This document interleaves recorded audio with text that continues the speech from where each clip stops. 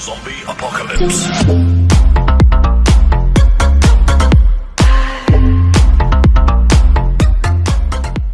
Okay.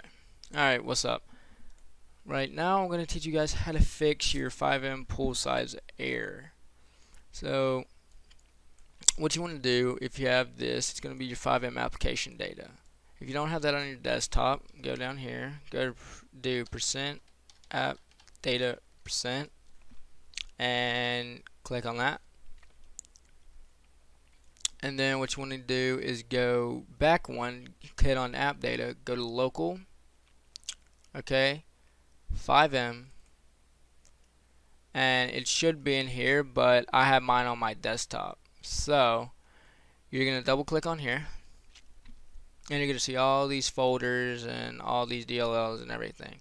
So what you want to do is go to your citizen folder, common, data, and then you'll see this right here, game config. You want to left click once and then right click, edit, and then once you get in here, click anywhere inside of it, do control F and type in handling like I have it here. Okay? And then you'll go to find next or hit enter and then you'll see this blue highlighted. It'll say handling right here. And then you scroll right below it and it it'll say it was be set to 6000 it'll look something like this. Okay so you want to erase that and put 10,000 right? And then you want to file save of course I've already got mine saved and then you're good to go okay?